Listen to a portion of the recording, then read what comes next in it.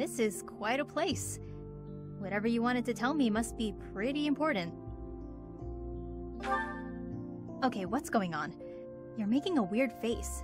It's freaking me out. The church and the Knights of Seiros are being dissolved, right? Let's talk about that. Good riddance, as far as I'm concerned.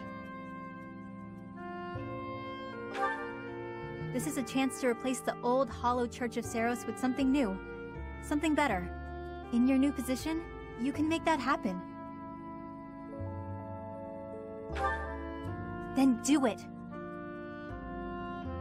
Those hypocrites preached about love and decency while shoving folks like me into the shadows. That's a pretty shoddy religion in my book. You can reshape it into something that actually helps people. Not that I need any help, mind you. I can help myself just fine.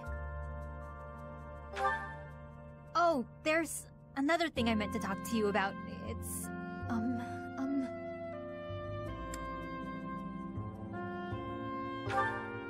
Ah, you figured me out. I'm just nervous, okay? Say whatever you're going to say.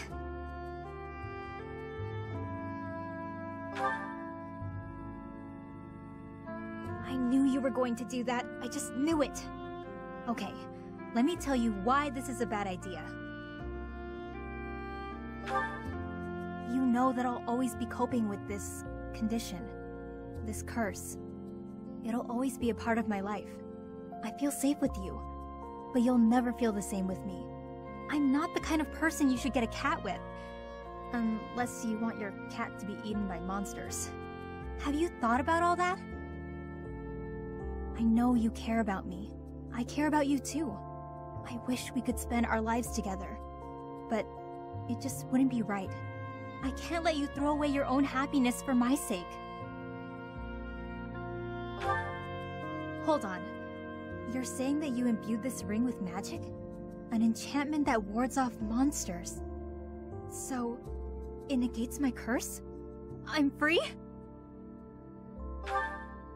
Hang on, that means you weren't really proposing? Oh, here I am talking about getting a cat together.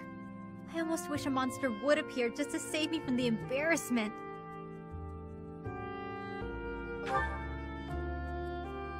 come on. I can't handle all this will we, won't we stuff. My heart's going to pop out of my chest. Alright. Thank you for giving me a second to collect myself. Yes, you weirdo.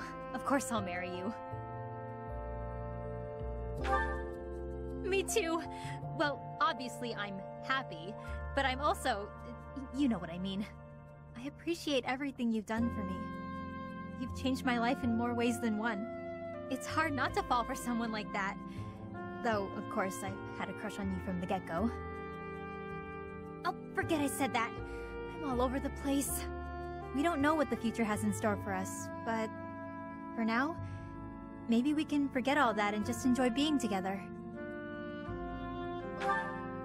Good. After all, we worked so hard to get here. Come closer, will you?